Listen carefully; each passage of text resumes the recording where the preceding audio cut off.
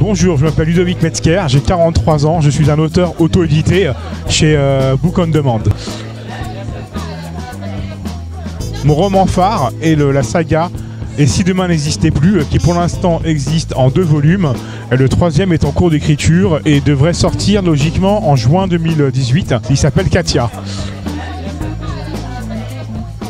J'ai donc écrit plusieurs livres, dont la saga Et si demain n'existait plus, euh, qui est donc en trois tomes. L'homme sans nom, euh, qui va être en deux tomes. Le monde à l'envers. Mon prochain, Le mur du temps. Et il existe encore d'autres titres que je vous invite à découvrir sur mon site internet www.ludovicmetzger.com.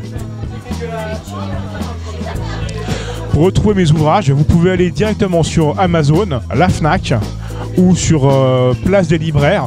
En règle générale, vous pouvez me trouver partout à la demande et en numérique sur les sites comme Amazon ou euh, chapitre.com ou la Fnac.